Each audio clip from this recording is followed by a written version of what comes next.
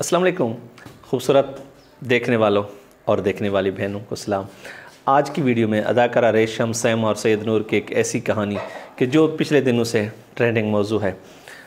ریشم نے گلہ کیا نور صاحب کا۔ نور صاحب نے گلہ کیا ریشم کا۔ ایک حالیہ انٹرویو میں انہوں نے بتایا کہ میں نے سیما کے ساتھ جو شادی کی، محبت کی، اس کا حال دیتے انہوں نے کہا کہ فلم کی شوٹنگ میں کے لیے میں سیما کو لینے گھر اس کے گیا اور گاڑی میں لے کر آ رہا تھا۔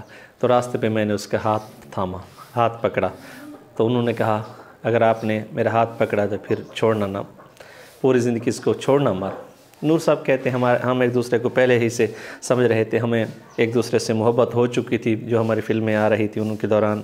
ہم ایک دوسرے کو سمجھ چکے تھے۔ میں اس سے محبت کرتا تھا، بے انتہا محبت کرتا تھا۔ اور سیما نے مجھے جان لیا۔ جہاں تک بات ہے اداکارہ ریشم کو انہوں نے کہا کہ ہر رول میں سیما کو کاسٹ کیا۔ انہوں نے کہا میں نے بہت سارے کو، میں نے جی علی کو یعنی متعارف کرایا۔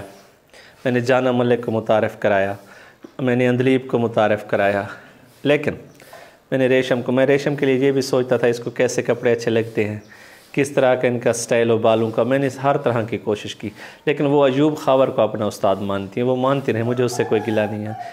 ایک سوال کرنے والے سماج چینل کو انٹرویو دے رہے تو سوال کرنے والی نے کہا کہ اگر آنے والی آپ کی فلم آ رہی ہے چوڑیاں ٹو اس میں اس کو کاسٹ کریں گے، انہوں نے کہا اس کا کوئی رول ہوا، تو انہوں نے کہا آپ تو خود کریٹ کرتے ہیں رول آپ کس چیز کے محتاج ہیں؟ آپ کو جو دوسرے اداکار ہیں، ان کو آپ کو کو چاہیے کہ فلم میں کام کرنے دیں۔ انہوں نے کہا، میں کوشش کروں گا۔ لیکن انہوں نے کہا کہ میں نے اپنی ساری زندگی الزام مجھ پہ یہ ہے کہ میں نے کام، سارا بڑا کام جو فلم کا تھا، میں نے سہمت انہوں نے کہا نہیں۔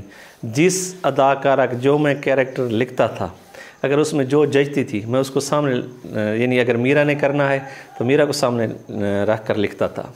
اگر جی علی نے کرنا ہے، تو اس کو سامنے رکھ کر۔ اب میں چوڑیاں ٹو جو بنا رہا ہوں، اس میں۔ میں نے دیکھا کہ سیما کی عمر اور معمرانہ کی عمر بڑی ہو چکی ہے۔ تو اب میں کہتا ہوں کہ اس میں سیما بھی نہ ہو معمرانہ بھی نہ ہو، اور نئے چہرے لوں۔ انہوں نے کہا، میں نے ہر دفعہ کوشش کی ہے۔ انہوں نے کہا کہ سلطان رئی جب سلطان رئی کی فلموں کا دور تھا اور ہر طرف اردو فلمیں بن رہی تھیں، اس وقت میں نے کیا کیا۔